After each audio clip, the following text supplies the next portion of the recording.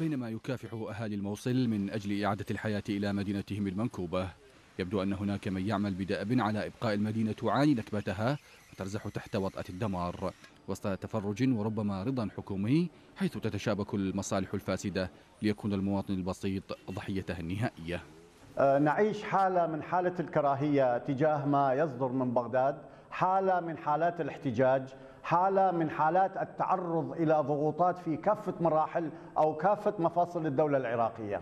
وهذا طبعا يتشابه عندما يكون رئيس الوزراء على هذه الدرجة من عدم الالتزام وعدم الانضباط في تشكيل الوزارة ويكون المحافظون ميالون إلى إلى الأمزجة الشخصية ويكون هناك نواب مع الأسف ووزراء سابقون يدخلون في صفقات فساد وصفقات يعني تعاملية من ورائها أرباح ومن ورائها منافع شخصية يكون حال البلد هكذا.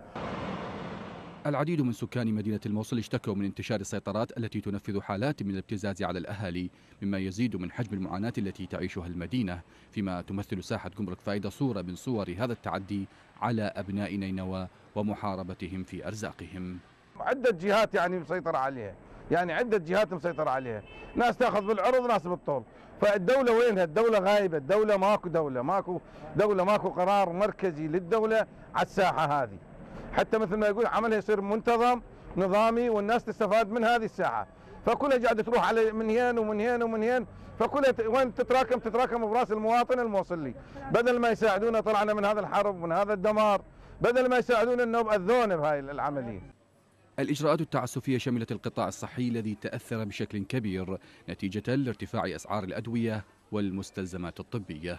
نلاحظ في الآونة الأخيرة أنه هناك حواجز جمركية صارمة جدا اللي من باب التأثير أنه هي كلها على مستوى العمل بالمستشفيات اللي صار ضعفها يعني عملها ضعيف وكذلك الأدوية وكذلك بعض الأجهزة الطبية اللي فرضت عليها هذه الغرامات الجمركية أهل الموصل طالبوا بإنصاف أبناء المدينة وتعويضهم عما لحق بهم نتيجة الفساد الذي ينخر مؤسسات البلد. كل بدل ما يسوون ضرائب على العالم على المواطنين. ينطون حصتهم من النفط اللي عيبوكوها هم.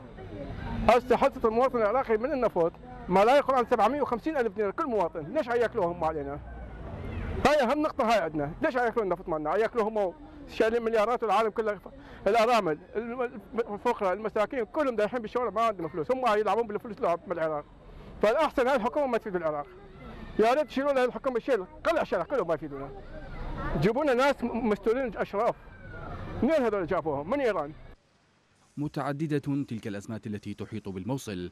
متنوعة هي الحروب التي عاشتها المدينة. شطرها المتعلق بالدم والبارود دفعت منها أثمانا باهظة. ثمة شطر آخر يريد أن يخنق المدينة. يستهدف قطع الأرزاق بعد أن قضى وطره من قطع الأعناق.